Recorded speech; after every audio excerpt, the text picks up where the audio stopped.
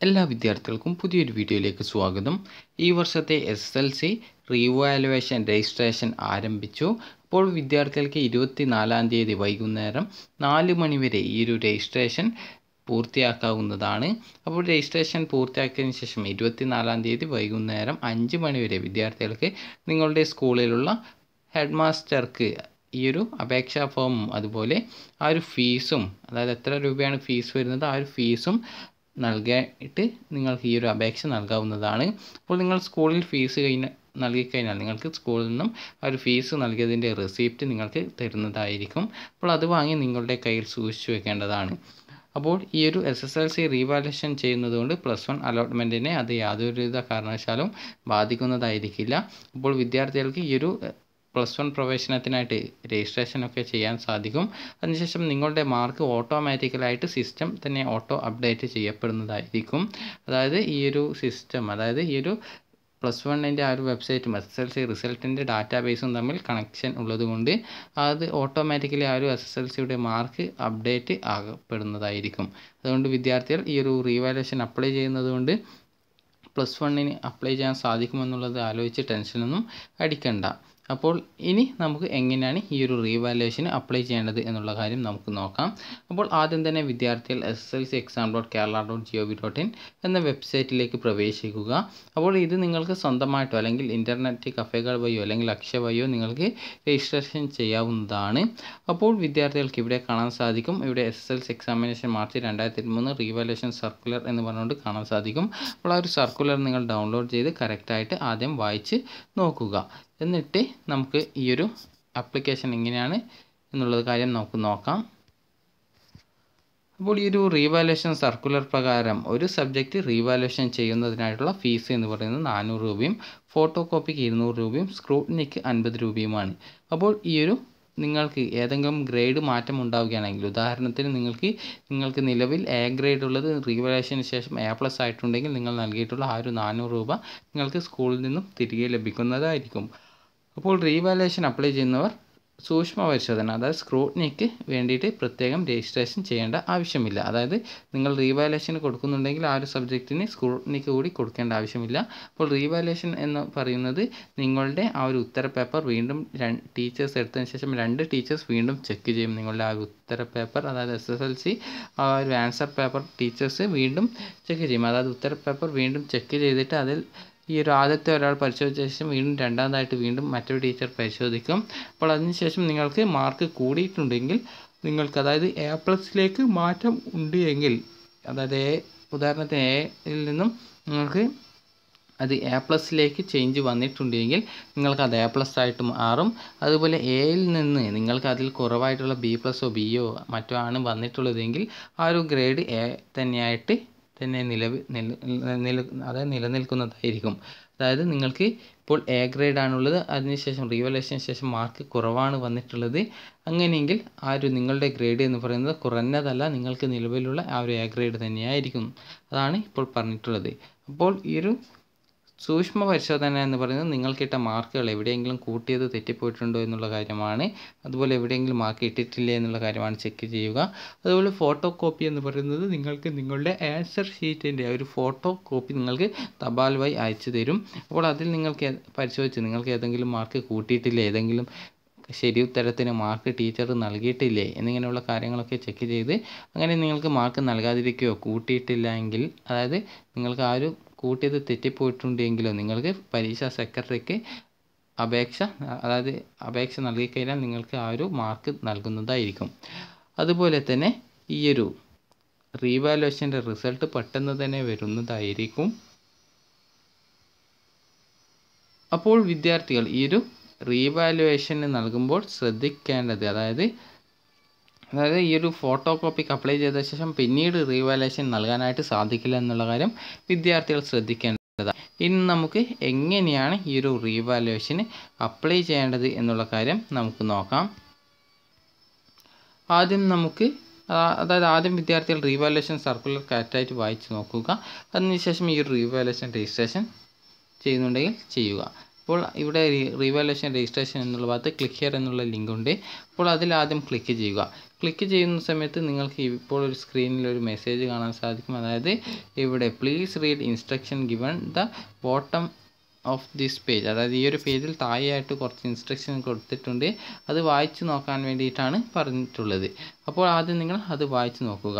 അപ്പോൾ ഇവിടെ നൽകിയിട്ടുണ്ട്. അതായത് ഈ ഒരു റീവാലേഷൻ ഫോട്ടോ കോപ്പി സ്ക്രൂഡ്നി എന്നിവ ഈ ഒരു ഐ ടിക്ക് അതായത് ഇൻഫർമേഷൻ ടെക്നോളജി സബ്ജക്റ്റിന് പറ്റില്ല. അതായത് ആ ഒരു സബ്ജക്റ്റ് ഈ ഒരു റീവാലേഷൻ ഫോട്ടോ കോപ്പി സ്ക്രൂട്ടിനി എന്നിവയ്ക്ക് ഉപേക്ഷിക്കാനായിട്ട് പറ്റില്ല. അതുപോലെ നോ നീഡ് ടു അപ്ലൈ അതായത് റീവാലേഷൻ അപ്ലൈ ചെയ്യുന്നുണ്ടെങ്കിൽ സ്ക്രൂട്ടിനിക്ക് കൂടി അപ്ലൈ ചെയ്യേണ്ട ആവശ്യമില്ല.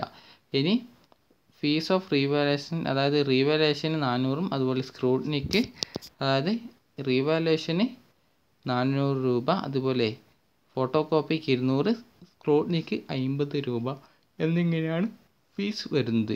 ഇനി അടുത്തതായിട്ടുള്ളതാണ് print out of the application along with the fees അതായത് നിങ്ങളുടെ സ്കൂളിലെ ഹെഡ് മാസ്റ്റർക്ക് ഈ ഒരു പ്രിന്റ് ഔട്ടും അതുപോലെ ആപ്ലിക്കേഷൻ ഫീസും ഈ ഒരു ഇരുപത്തിനാലാം തീയതി വൈകുന്നേരം നാല് മണിക്ക് മുമ്പായിട്ട് വിദ്യാർത്ഥികൾ നൽകേണ്ടതാണ്. അതായത് നിങ്ങൾ ഏത് സ്കൂളിലാണോ പരീക്ഷ എഴുതിയിട്ടുള്ളത് ആ ഒരു സ്കൂളിലുള്ള ഹെഡ് മാസ്റ്റർക്ക് അതുപോലെ ഈ ഒരു നിങ്ങൾ ഫീ പേയ്മെന്റും അതുപോലെ ഈ ഒരു അപേക്ഷ നൽകിയിട്ടുള്ളത് ഹെഡ് മാസ്റ്റർ കൺഫേം ചെയ്ത് കഴിഞ്ഞാലാണ് ഈ ഒരു റിവലേഷൻ ഫോട്ടോ കോപ്പി എന്നിവയ്ക്ക് പരിഗണിക്കുകയുള്ളൂ എന്നുള്ള കാര്യമാണ് പറഞ്ഞിട്ടുള്ളത്. ഇനി എങ്ങനെയാണ് നമുക്ക് അപേക്ഷിക്കാം എന്നുള്ള കാര്യം നോക്കാം. ആദ്യം നിങ്ങൾ ചെയ്യേണ്ടത് ഇവിടെ നിങ്ങളുടെ രജിസ്റ്റർ നമ്പർ നൽകുക ഇവിടെ നിങ്ങളുടെ ഡേറ്റ് ഓഫ് ബർത്ത് നൽകുക. എന്നിവ നൽകി കഴിഞ്ഞിട്ട് നിങ്ങൾ ജസ്റ്റ് ഓക്കെ കൊടുത്തു കഴിഞ്ഞാൽ അതായത് നിങ്ങൾക്ക് ഇവിടെ ഓക്കെ കാണാൻ സാധിക്കും. ഈ ഒരു ഓക്കെ ബട്ടൺ ക്ലിക്ക് ചെയ്ത് കഴിഞ്ഞാൽ നിങ്ങൾക്ക് നിങ്ങളുടെ ആ ഒരു റിസൾട്ടിന്റെ ഡീറ്റെയിൽസ് അറിയാനായിട്ട് സാധിക്കുന്നതാണ്. അതായത് നിങ്ങൾക്ക് ഓരോ സബ്ജക്റ്റിനും ലഭിച്ചിട്ടുള്ള ആ ഒരു സ്കോർ നിങ്ങൾക്ക് ഈ ഒരു പേജിൽ വരുന്നതായിരിക്കും. അതുപോലെ മറ്റ് ഡീറ്റെയിൽസും വരുന്നതായിരിക്കും. അതായത് നിങ്ങൾ നൽകിയിട്ടുള്ള നെയിം അതുപോലെ ഈ ഒരു നിങ്ങളുടെ സെന്ററിന്റെ കോഡ് അതുപോലെ സെന്റർ നെയിം എന്നിവ അതൊക്കെ ഓട്ടോമാറ്റിക്കലി അവിടെ വരുന്നതായിരിക്കും. അപ്പോൾ ഞാനിവിടെ അത് നൽകിയിട്ടില്ല. അപ്പോൾ ഇവിടെ മീഡിയം എന്നുള്ളതുണ്ട് അതും ഓട്ടോമാറ്റിക്കലി അവിടെ സെലക്റ്റഡ് ആയിട്ട് വരുന്നതായിരിക്കും.